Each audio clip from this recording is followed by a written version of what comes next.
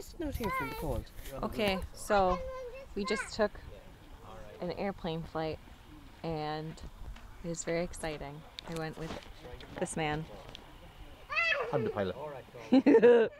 and this is my Aunt Mary. She wasn't on the flight, but she is coffee, tea, sandwich, sambo lady. The gopher.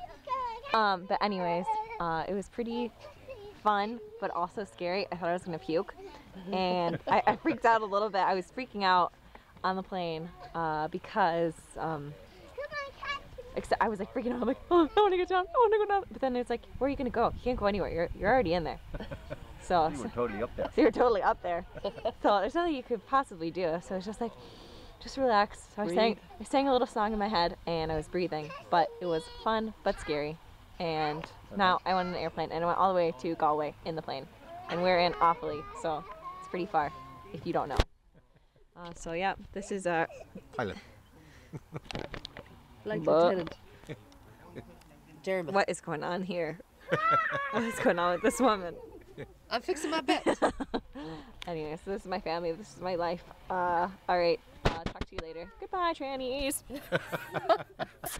they really enjoy that.